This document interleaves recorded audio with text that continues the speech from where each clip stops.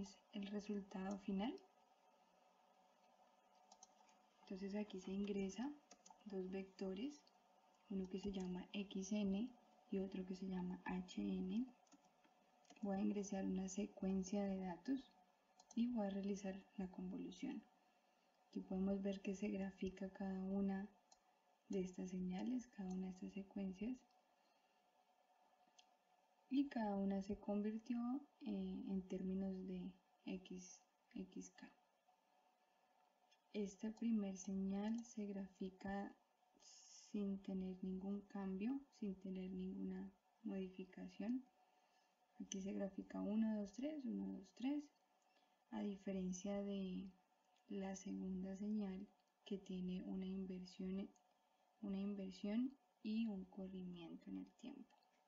Entonces aquí vemos que es 4, 5, 6, pero se graficó 6, 5, 4 y se hizo un desplazamiento, un corrimiento. Cada vez que yo presiono el botón convolución, la segunda señal va teniendo un desplazamiento.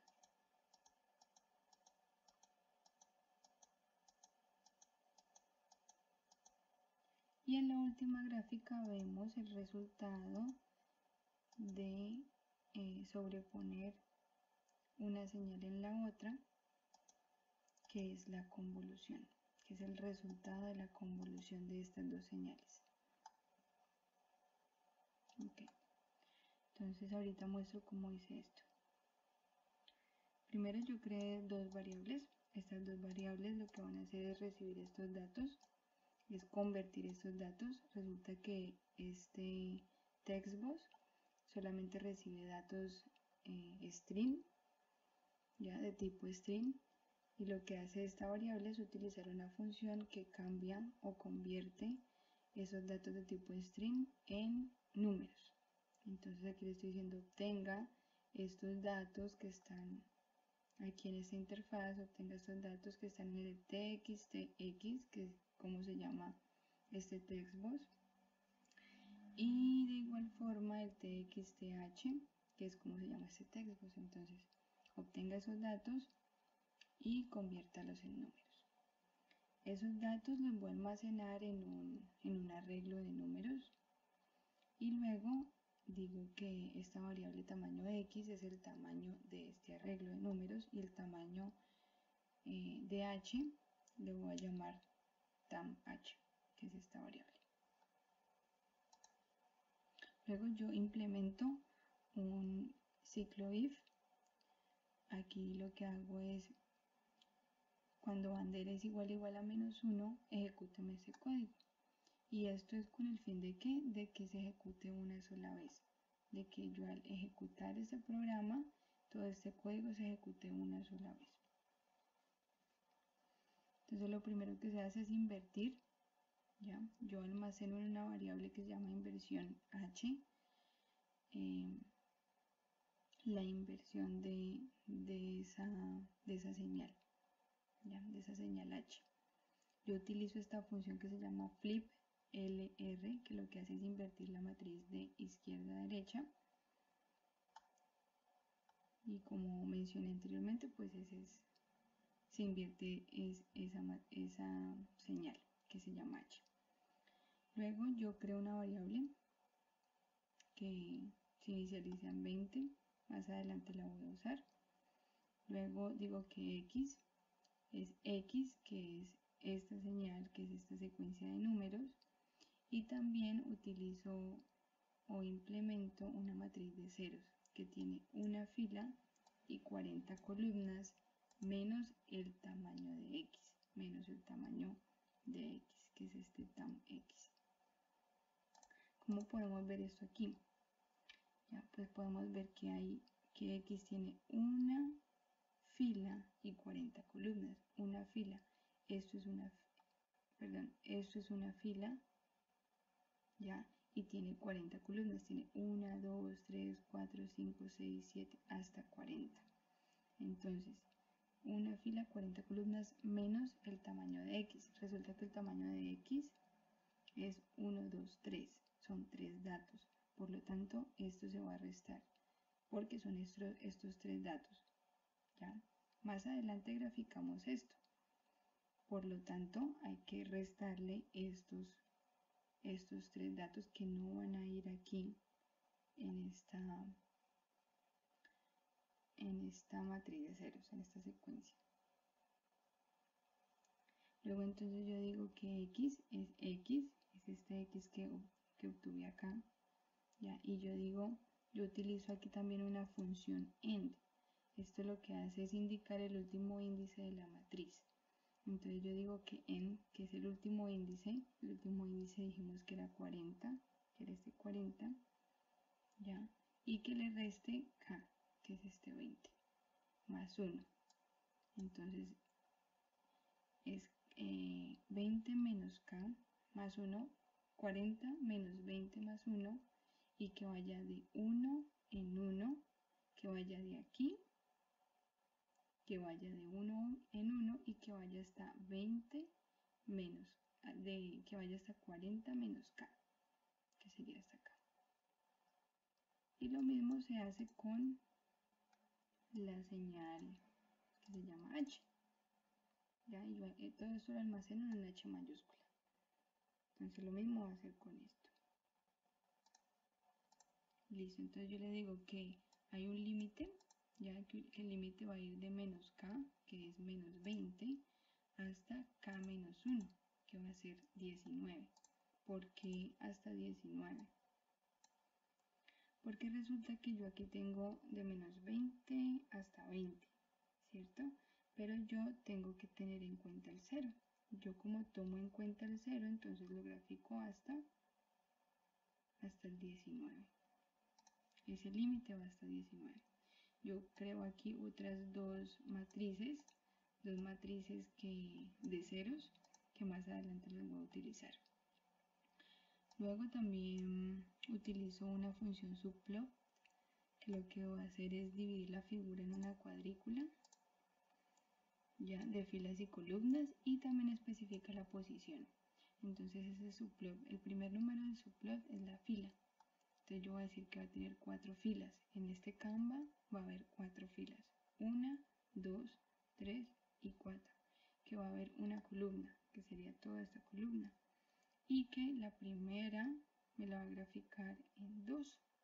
En la segunda posición. Esta es la primera posición y esta es la segunda posición. Luego utilizo una función que se llama STEAM. Este, esta función traza datos de secuencia discreta. Entonces, este, estos datos ya dibujados aquí son posibles gracias a esta función STEAM. Entonces yo le estoy diciendo que el límite, que tome el límite que va de menos 20 hasta, hasta 19, de menos 20 hasta 19, que me grafique eso. Datos eh, discretos, aquí me lo grafica en circulitos. Y, y que tome en cuenta este X que es esta matriz de X, de los números de la, del arreglo que, que le pasamos y de la matriz de ceros. Y que la pinte de color rojo. De la misma forma hago con la segunda señal y con la última señal que sería el resultado de la convolución. Luego eh, implemento una o inicializo una variable que se llama corrimiento h. Este corrimiento h tiene la inversión en h, que es esta inversión en h que tengo aquí, en donde aplicamos la función fliplr. Y también eh, este corrimiento en h va a tener una matriz de 0 que también va de 1 a 40 menos el tamaño de h. Menos el tamaño de h, que está acá arriba. Y cambio el valor de la bandera para poder salir de este ciclo para poder salir de esto. Entonces cambio el valor de la bandera. Y utilizo un assigning. Este assigning en este caso lo que hace es refrescar el valor de la, de la variable. Lo que hace es ah bueno entonces esto ya tiene una nueva variable entonces le voy a eh, dar esa, ese nuevo valor a esa variable el assigning yo las, las variables que, inicialicé y que estoy utilizando, todas tienen un assigning. Este assigning es una función que asigna el valor a la variable específica en el workspace. Entonces aquí está el workspace, ya en donde están todas las variables. Yo utilizo este assigning ya que eh, estas variables van a estar cambiando. Ya, entonces como yo voy a utilizar estas variables en otras instancias, que para este caso es el botón, cuando hago la convolución, entonces necesito hacer, eh, utilizar, implementar esta función, el assigning. Entonces cada variable que yo inicialicé, que yo estoy utilizando también, eh, tiene un assigning.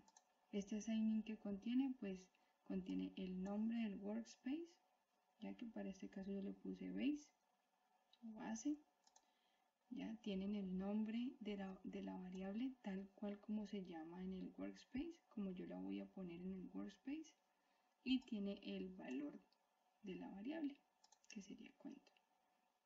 Para este caso, y cada una de las variables que utilizo, eh, lo hago de esta forma, con el assignment.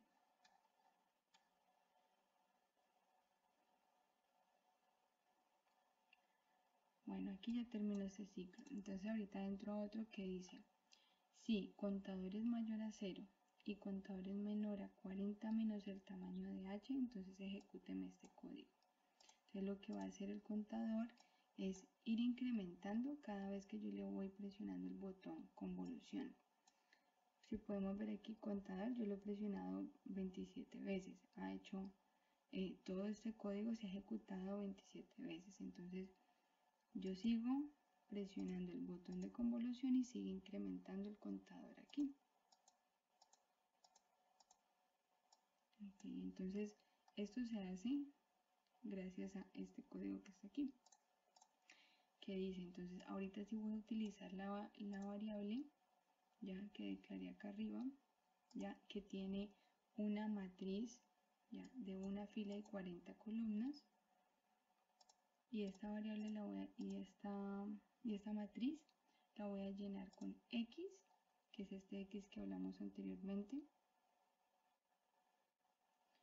Y voy a hacerle un producto punto un producto punto con el corrimiento en h que como vemos corrimiento en h ya tiene la inversión la inversión en h luego utilizo la otra variable que es var0 que también la inicialicé acá arriba, que también es una matriz de una fila y 40 columnas. Y yo le digo que es contador más eh, tamaño de h menos 1 y que ese es igual a una suma, que lo que hace esta función es sumar los elementos de la matriz y le paso este bar ceros. Luego vuelvo a implementar eh, la función subplot y la función Steam, pero con estas dos gráficas. Una vez realizado esto, ya estos cambios, cada vez que yo presiono el botón, ya, pues estas, estas gráficas van a, van a cambiar. hasta que llegue el contador a menos 40, a, el contador sea menor a 40 menos el tamaño de h. Listo, entonces solamente grafico estas eh, estas dos gráficas HK y la del resultado final de convolución porque son las que van a ir cambiando. Y al final digo que el corrimiento en H es igual al corrimiento y le digo que sea eh, desde el final, ya, que sería 40. Cuando yo no pongo nada en la mitad quiere decir que va de uno en uno. Entonces desde el final de 1 en 1 hasta el final menos 1.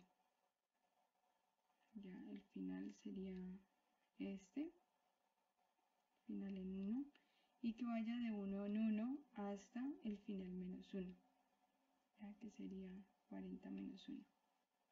Y hago un incremento en el contador. Y al final ya utilizo otra vez el assigning para refrescar el valor de estas variables porque ya tienen nuevos valores. Entonces cada vez que yo voy presionando el botón de convolución, cada variable tiene eh, nuevos valores. Ok. Hasta ahí va el código de convoluciones MATLAB.